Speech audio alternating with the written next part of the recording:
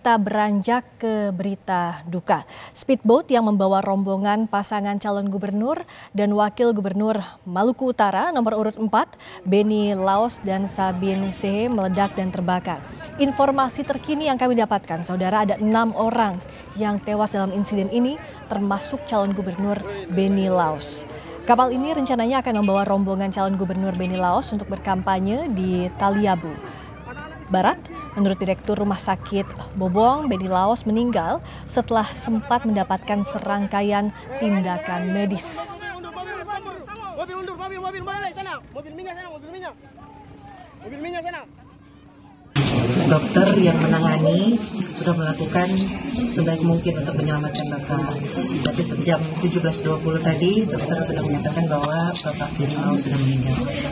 Yang dirawat, yang dirawat ada lima orang, yang meninggal ada lima orang, enam dengan Bapak.